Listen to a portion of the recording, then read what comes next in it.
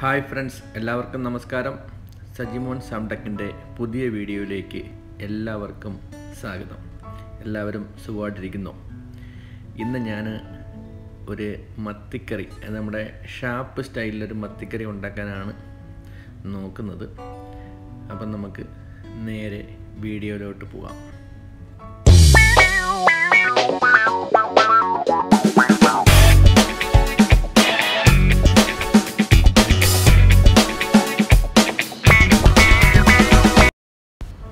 അതിലേക്ക് നമുക്ക് ഒരു ആറ് ചെറുള്ളി ഒരു എട്ട് വെളുത്തുള്ളി അതുപോലെ ഇഞ്ചി ഒരു രണ്ടിഞ്ച് കഷ്ണത്തിൽ രണ്ടെണ്ണം പച്ചമുളക് ഒരു എട്ടെണ്ണം ആണ് കറിവേപ്പില ഒരു രണ്ട് തണ്ട് പിന്നെ നമ്മുടെ കുടംപുളി ഒരു നാലെണ്ണം വെള്ളത്തിലിട്ട് കുതിർത്തെടുത്തത്.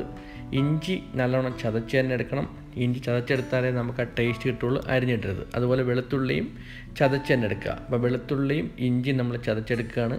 അതുപോലെ വെളുത്തുള്ളി ഇഞ്ചിയും ചതച്ചെടുത്ത് കഴിഞ്ഞാൽ പിന്നെ ചെറുള്ളിയാണ് അതും നമുക്ക് ഇതിന്റെ കൂടെ തന്നെ ചതച്ചെടുക്കാം. അപ്പോൾ ചെറുള്ളിയും കൂടെ ചതച്ചെടുക്കാം ഇനി. നമ്മുടെ ചെറുള്ളി എടുത്തു വെച്ചു. അതും കൂടെ ചതച്ചെടുക്കാം.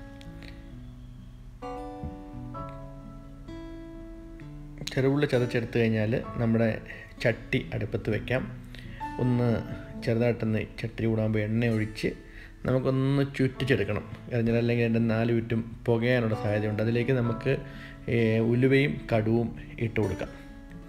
ഉലുവയും കടുവും ഇട്ട് കൊടുത്തു കഴിഞ്ഞാൽ നമുക്ക് അതിലേക്ക് ചെറുള്ളി ആദ്യം വഴറ്റി വെച്ചത് നമ്മൾ ചേർത്ത് കൊടുക്കുകയാണ്. അതിലേക്ക് ഇഞ്ചി ചേർത്ത് കൊടുത്തു വെളുത്തുള്ളി ചേർത്ത് കൊടുത്തു നമ്മുടെ കറിവേപ്പില ചേർത്തു പച്ചമുളകും കൂടെ അതിന്റെ കൂടെ തന്നെ ചേർത്ത് അപ്പം നമുക്കിതെല്ലാം ഒന്നിച്ച് തന്നെ ചേർത്താൽ മതിയാവും. ചേർത്ത് ഒന്ന് വഴറ്റിയെടുത്താൽ മതി. സെപ്പറേറ്റ് ഇടണമെന്ന് ഇടേണ്ട ആവശ്യമില്ല. ഇപ്പോൾ കുറച്ച് ഉപ്പ് ചേർത്ത് കൊടുത്തിട്ടുണ്ട്. ഇനി നമുക്ക് ഉപ്പ് കുറവെങ്കിൽ ചേർക്കാം. ഇപ്പം നമുക്ക് മുളക് പൊടി ഒരു മൂന്ന് സ്പൂണാണ് ചേർക്കുന്നത്. ഒന്ന് രണ്ടായി. മൂന്ന് സ്പൂൺ നമ്മൾ മുളക് പൊടി ചേർത്തു. അര ടീസ്പൂൺ മഞ്ഞൾപ്പൊടി അതിനകത്ത് ചേർത്ത് കൊടുക്കുകയാണ്. അതിലേക്ക് പിന്നെ നമുക്ക് മല്ലിപ്പൊടി ഒരു സ്പൂണാണ് വേണ്ടത്. അതും ചേർത്ത് കൊടുക്കുകയാണ്. മല്ലിപ്പൊടിയും ചേർത്ത് കഴിഞ്ഞാൽ പിന്നെ കാശ്മീരി പൊടി നല്ല കളർ കിട്ടാൻ വേണ്ടി മാത്രമാണ് ഈ കാശ്മീരി പൊടി ചേർക്കുന്നത്. എന്നാലും നല്ല കളർ കിട്ടുള്ളൂ.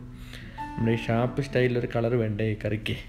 അപ്പോൾ ആ ഒരു കളർ കിട്ടാൻ വേണ്ടി നമ്മൾ നല്ല കാശ്മീരി പൗഡർ തന്നെ ഉപയോഗിക്കുക വഴറ്റിയെടുക്കുന്ന സമയത്ത് സ്റ്റൗ ലോ ഫ്ലെയിമിലോ ഓഫ് ചെയ്തിട്ടോ വേണം നമുക്കിത് വഴറ്റി അല്ലെങ്കിൽ ഇത് കരിഞ്ഞു പോകും വെള്ളം ഒഴിച്ച് നമുക്കിതൊന്ന് തിളപ്പിച്ചെടുക്കാം. തിളപ്പിച്ചെടുക്കുന്നവരെ ജസ്റ്റ് ആ ഈ പരുവത്തിലൊന്ന് ആക്കിയിട്ട് കുടമ്പുളി ചേർത്ത് കൊടുക്കാം. കുടമ്പുളി ചേർത്ത് കൊടുത്തു കഴിഞ്ഞാൽ നമുക്കൊന്നുകൂടെ ഒന്ന് ഇളക്കി കൊടുത്തിട്ട് ചെവിട്ടിൽ പിടിക്കരുത് ഒരു ലോ ഫ്ലെയിമിൽ വെക്കാവുള്ളൂ ഹൈ ഫ്ലെയിം ഒരിക്കലും വെക്കരുത്. അപ്പം നമുക്ക് ഈ ഒരു രീതിയിൽ ടെസ്റ്റായി കിട്ടും.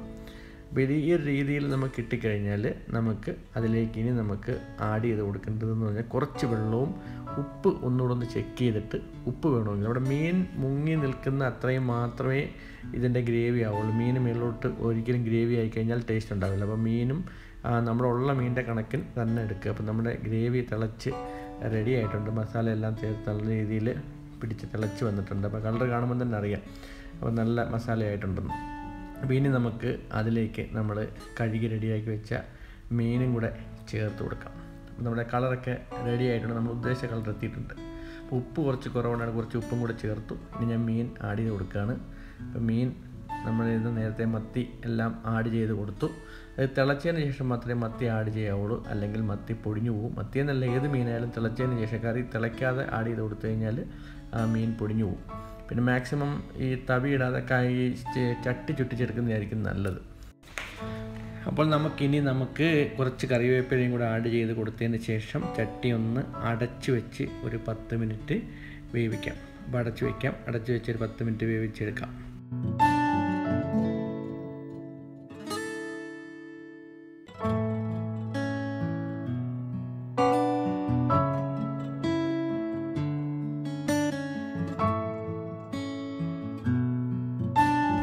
അപ്പോൾ നമ്മുടെ മത്തിക്കറി ഇഷ്ടപ്പെട്ടിട്ടുണ്ടെങ്കിൽ വീഡിയോ തീർച്ചയായും ലൈക്ക് ചെയ്യണം സബ്സ്ക്രൈബ് ചെയ്യണം അതുപോലെ ഷെയർ ചെയ്യണം. നല്ല ടേസ്റ്റ് ഉണ്ടെന്ന് നിങ്ങൾക്ക് തോന്നിയാൽ കമന്റും ചെയ്യണം. നല്ല കമന്റുകൾ ചെയ്ത് പ്രോത്സാഹിപ്പിക്കാം.